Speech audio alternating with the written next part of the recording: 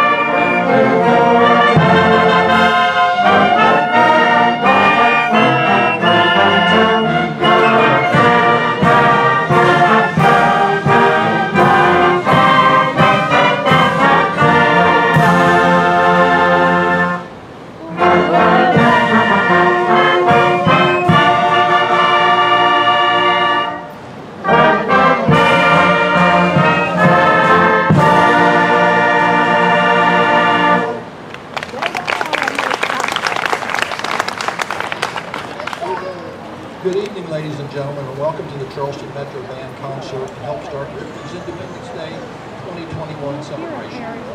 We would like to thank the Ripley Convention Visitors Bureau Director Michael Rubin and Mayor Carolyn Rader for their invitation to perform for you this evening.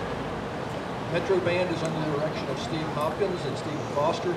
Ralph Williams, your Metro Band announcer. Our first number, Profiles in Courage, was a weekly series on NBC November of 64 to May of 65.